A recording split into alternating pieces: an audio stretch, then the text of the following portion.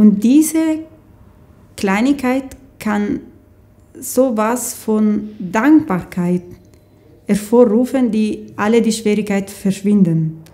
Und ich habe auch hier in Deutschland ein Jahr als Tierärztin gearbeitet. Ich bin dankbar für alle Momente, die wir miteinander erleben dürfen.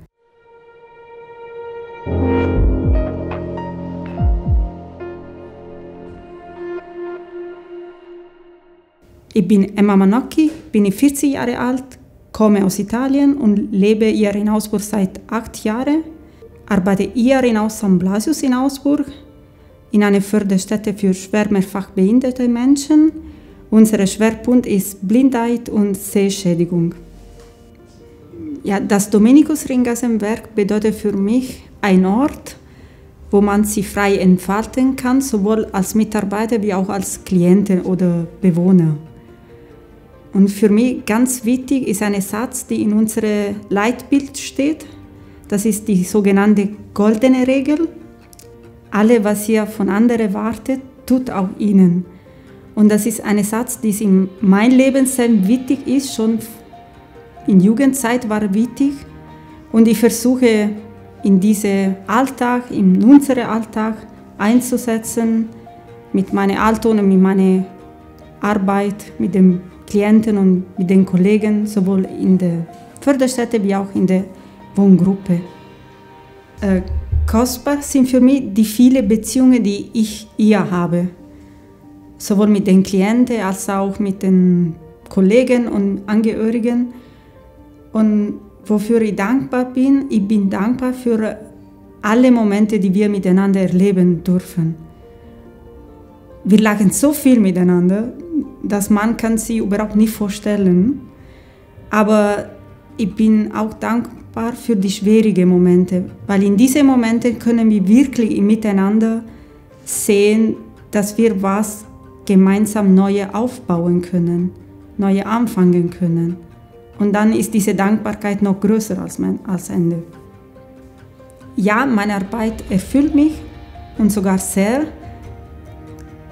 ich weiß nicht, wir sind gewohnt zu hören, besonders in den letzten Jahren in den Medien, dass die Arbeit von Pflegekräften eine sehr schwierige Arbeit sei.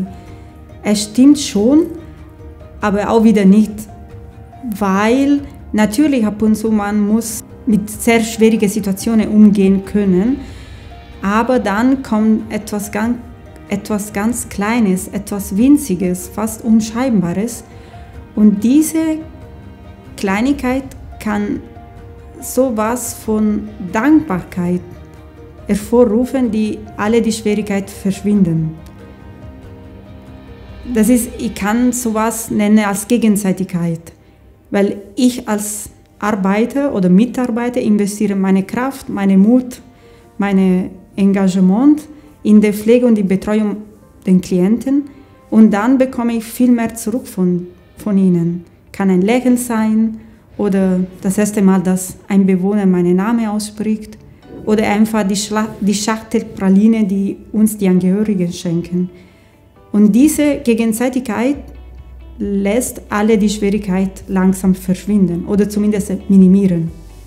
Schwer Mehrfachbehinderung ist ein schwieriges Wort, aber was, ist, ähm, was steckt dahinter? Menschen stecken dahinter. Und jeder Mensch ist anders. Auch wenn die gleiche Krankheit da ist oder die gleiche Rollstuhl, der gleiche Rollstuhl oder vielleicht die gleiche Deformationen oder die gleichen Probleme da sind, sind sehr unterschiedliche Menschen, die dahinter stecken. Und wenn man das erste Mal in Begegnung mit diesen Menschen kommt, vielleicht erschreckt sie und fragt, oh Gott, wie kann ich damit umgehen? Aber dann sind genauso Menschen wie wir alle. Wir hören gerne miteinander Rockmusik. Zum Beispiel mich und ich sind beide von den 80er Jahren, sozusagen. Er ist 85 geboren, ich 81 und wir hören gerne miteinander Queen. Das ist, ich denke, den, der Schlüssel. Nicht die Behinderung zu schauen, sondern die Menschen, die in der Behinderung leben oder mit der Behinderung leben muss.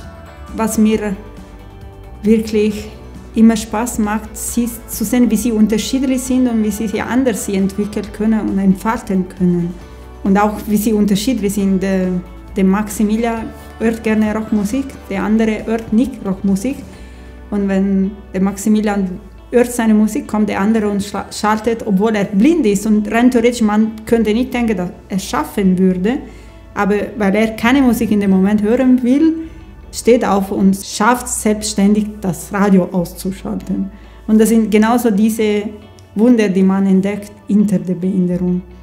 Was typisch von unserer Einrichtung hier in Augsburg, in dieser Einrichtung, ist die Blindheit bzw. Sehschädigung. So, alle unsere Klienten haben eine starke Sehschädigung. Das bedeutet, dass das Sehen ist fast unmöglich. Alle können nicht reden, nur einige können einige Worte aussprechen, wie zum Beispiel Pferd oder Ball oder Kleinigkeiten. Nur einige können bedient laufen. Die meisten sitzen im Rollstuhl mit besonderen großen Rollstühlen, die viel Platz aufnehmen. Und, ähm, aber was können sie? Sie können lachen. Sie können das Leben genießen. Sie können mit alle anderen Sinne uns Botschaft schicken. Es ist mir mal passiert, dass ich nur in den Raum gelaufen bin und ich wurde schon gerufen, weil sie von meinem Schritt mich erkannt haben. Das ist eine andere Art und Weise, das Leben und die Umgebung wahrzunehmen. Ich bin Tierärztin. Ich habe diesen Beruf in Italien gelernt und ich habe auch hier in Deutschland ein Jahr als Tierärztin gearbeitet. Bin offiziell eine bayerische Tierärztin sozusagen. Ich hatte schon in meiner Studiumzeit nebenbei eine Ausbildung als tiergestützte Therapeutin gemacht. Die tiergestützte Therapie praktisch ist eine Disziplin, die durch die Beziehung mit den Tieren Verbesserung in das Leben, Qualität von Menschen mit Behinderung bzw. Beeinträchtigung, aber auch mit depressiven Menschen, alte Menschen in Altenheim und ich war in meiner Freizeit oft ehrenamtlich tätig und in viele soziale Projekte engagiert. Als ich gespürt habe, dass diese Tiermedizin irgendwie zu eng war, habe ich mich gedacht, ich würde gerne auch in Deutschland als tiergestützte Therapeutin arbeiten. Und dann habe ich ein Praktikum gemacht in einer Wohngruppe von Dominikus Ringesenberg und da nach drei Tagen habe ich ein Stellangebot bekommen. Und da hat dieser Job mir so Spaß gemacht, dass ich die Ausbildung in Usberg gemacht habe als Heilerziehung Pflegerin und jetzt bin seit zwei Jahren in diese neue Förderstätte in Augsburg. Habt ihr auch früher ein bisschen mitgekriegt, dass wir sehr viel Spaß haben in der Arbeit, aber wirklich sehr viel Spaß.